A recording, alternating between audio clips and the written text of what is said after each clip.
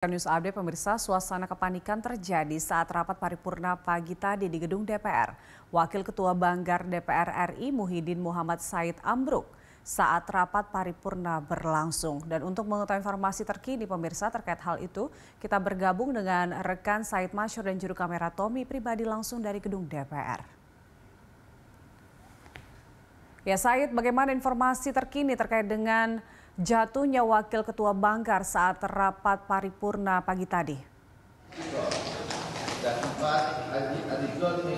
Julita saat ini Wakil Ketua Banggar Muhyiddin Muhammad Said tengah melakukan pemeriksaan ataupun observasi di klinik DPR.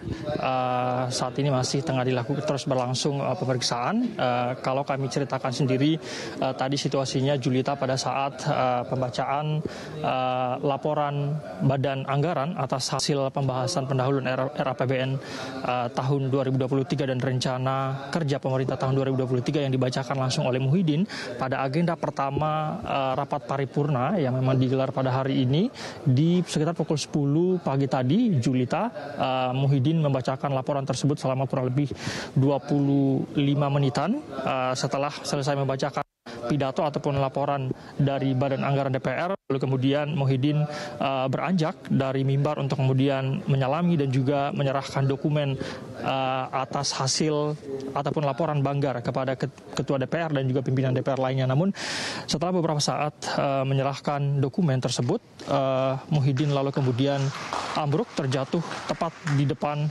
Ketua DPR Sri Mulyani dan suasananya uh, langsung tegang. Begitu Julita kami melihat, melihat tadi uh, kalau kami gambarkan saat ini ada sekitar 37-an anggota DPR yang hadir pada rapat paripurna kali ini. Sontak pada saat uh, Muhyiddin terjatuh, uh, beberapa anggota DPR ada yang langsung berlari ke depan, lalu ada juga yang tiba-tiba berdiri dan juga menyaksikan uh, Muhyiddin uh, Muhammad Said. Kalau keterangan dari Sekretaris Jenderal DPR, Julita Indra Iskandar mengatakan bahwa bahwa Muhyiddin terjatuh akibat uh, penyakit yang dideritanya yaitu penyakit hipertensi atau darah tinggi yang uh, saat ini masih tengah diobservasi dan tentu akan dilakukan pemeriksaan lebih lanjut.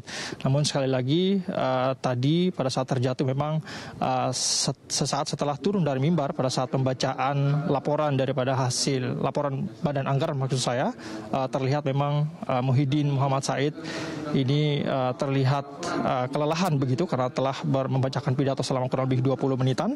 Perlu diketahui Muhammad, uh, maksud saya Muhyiddin Muhammad Said merupakan anggota DPR dari fraksi Partai Golkar yang saat ini menjabat sebagai Wakil Ketua Badan Anggaran, anggota DPR RI Far, uh, Dapil Sulawesi Tengah. Kita masih menantikan Julita seperti apa perkembangannya. Sekali lagi saat ini Muhyiddin masih tengah dilakukan pemeriksaan lebih lanjut di klinik DPR.